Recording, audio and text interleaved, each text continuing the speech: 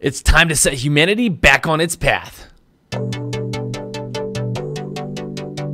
Just when you thought 2020 couldn't get any better, yes, that's right. 2020 does is is ending on a good note with a lot of great games and different reasons to kind of just forget about all the nonsense that's going on. Ghostrunner, yes, that is right. Ghostrunner, a pretty epic looking slasher is coming just in time for you guys to enjoy it on your next gen consoles. I actually really like the look of this one. I like a lot of just fun, different styles of playing games. This one is set in a post-apocalyptic world, surprisingly honest.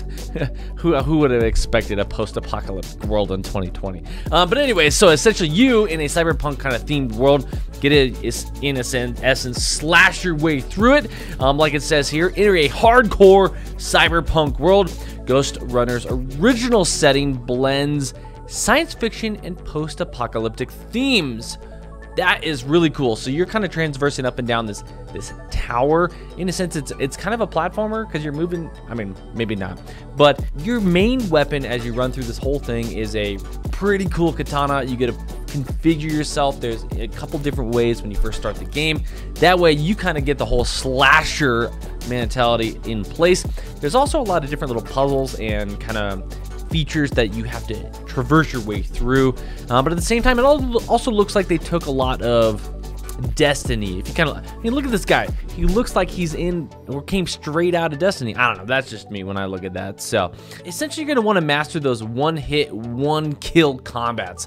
And that's what makes it kind of fun. If you played Ghost of Tsushima, there's a lot of those really quick stabbing and jabbing moves. You're going to fight up close in a high adrenaline melee combat and deliver bone crushing one hit kills. Heck, yes, there's going to be some pretty sweet kind of moves, it looks like. It doesn't look like this is based around any sort of other weapons except for that katana and other different little like abilities that you're going to have within the game to kind of create and interact with your environment. But as far as your weapons go, it's all about that melee or hand-to-hand -hand slasher combat. So you're to utilize superhuman abilities.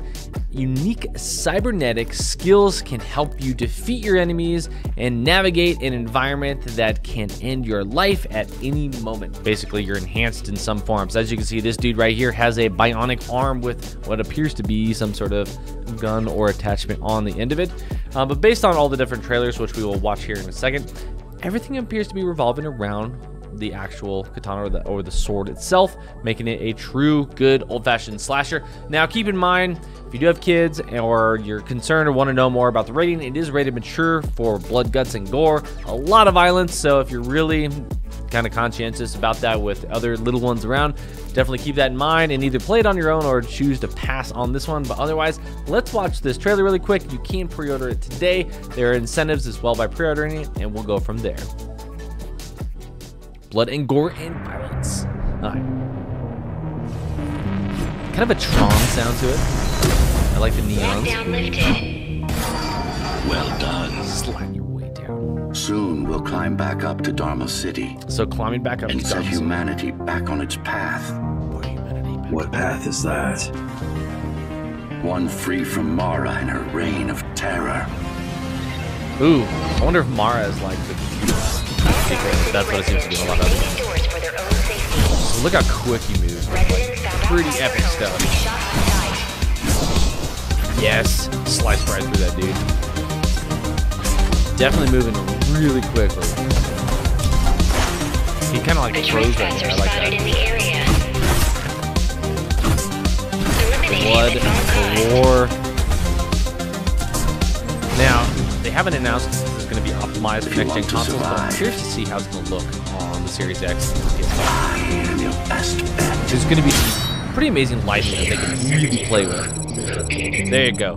Ghostrunner available October 27th, 2020. So not too far away on Steam. So you got your PC and your consoles. And it says it's going to be available on Switch. I don't know how this is going to play on Switch, but this is going to be a lot of fun. Definitely one that I think, if it doesn't cost too much, you should definitely look into if you like some of that, some of that really quick first-person action-based games. Tell me what you think about this below. I'm Evan. This has been Permission to Game. If you're watching on YouTube, make hit sure you hit that subscribe button, notification bell up in that corner. If you're on Facebook, definitely like, comment, and share. Thank you so much for watching Permission to Game. I'll catch you guys next time.